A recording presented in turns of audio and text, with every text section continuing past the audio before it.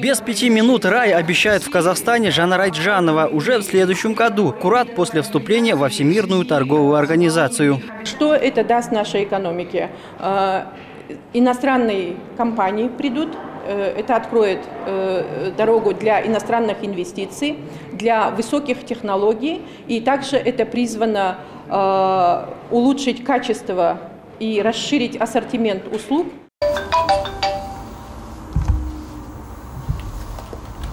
Анель. Геннадий Шестаков от такой перспективы буквально раздваивается. Ведь с одной стороны в нем живет потребитель, а с другой – бизнесмен. Я буду покупать э, товары надлежащего мной, вот э, того качества, которое я хочу, и по э, э, выбор по цене будет ну, гораздо шире.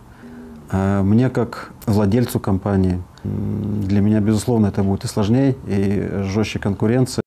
Кыргызстан задолго до Казахстана одним из первых на постсоветском пространстве вступил в международный клуб, который устанавливает правила торговли в мире. Но дивиденды от этого выглядят сегодня сомнительными. благодаря вступлению в ВТО пошли, пошли дешевые китайские товары, и значительная часть населения смогла за счет этого жить.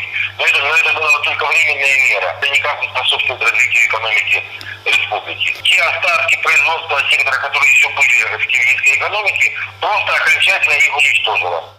Быть членом ВТО значит играть по правилам рыночной экономики, честно конкурировать, не искать господдержки. Казахстан после десятилетия реформ первым из стран СНГ был признан страной с рыночной экономикой. Долгое время ярким и одновременно редким примером здоровой конкуренции в стране был финансовый сектор. В кризис государство было вынуждено протянуть руку помощи банкам. Теперь банкиры сетуют, что она может задушить их в своих объятиях. Когда государство говорит о том, что мы развиваем рыночную экономику и хотим, чтобы наши участники были конкурентоспособны, к сожалению, некоторые шаги и некоторые э, мероприятия мы видим идут совершенно в обратном, э, в обратном направлении. Да? Мы видим, что сегодня нарастает госмонополизм э, везде. И конкретно это в финансовом секторе. ВТО – не первая сказка о рае на земле, которую слышат казахстанцы от правительства. Пять лет назад власти активно пиарили таможенный союз и рисовали волшебные перспективы. На практике вышло иначе. Конкурировать даже с такими похожими во многом соседями оказалось непросто. Наверное, объединение Казахстана с Россией, у которой идентичная экономика, структура экономики, но у которой в 10 раз больше и сегодня по-прежнему болеет постимперским синдромом, наверное, для нас быть для них равным партнером ну, практически невозможно. Потому что здесь центр притяжения все равно остается Россия.